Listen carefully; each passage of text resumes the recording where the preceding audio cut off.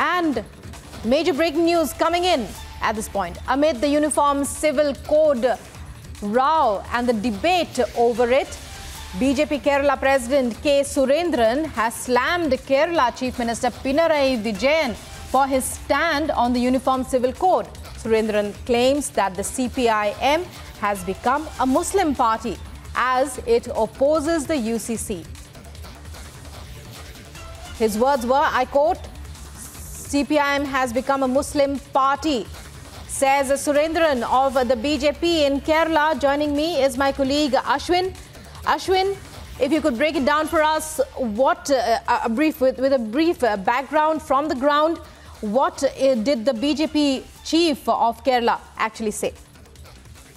Well, uh, the BJP chief of Kerala, when he called out the uh, media yesterday, he, what he clarified was that it, he said in a surprising tone that the CPM has traditionally steered away uh, from uh, uh, his stance on the UCC uh, in the way Chief Minister Pinarayi Vijayan has given the statement.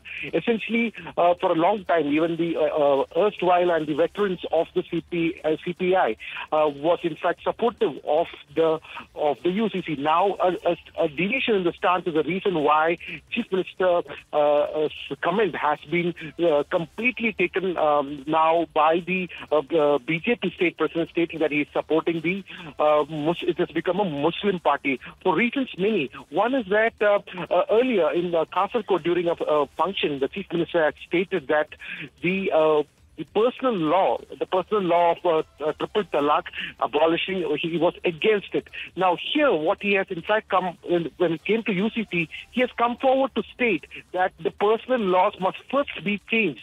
So there is a dichotomy in the way the chief minister has stated, and this is essentially what uh, the uh, the BJP state person is stating that he is trying to appease the particular community, and that he has become a Muslim party.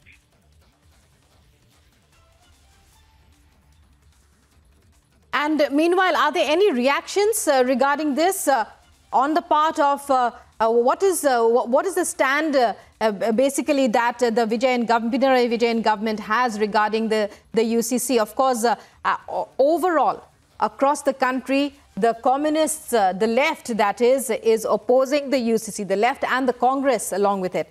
So, what are the reactions to this claim made by the Kerala BJP chief? Well, yesterday a note was given by the Chief Minister, although he has not come forward to the media to uh, present his views.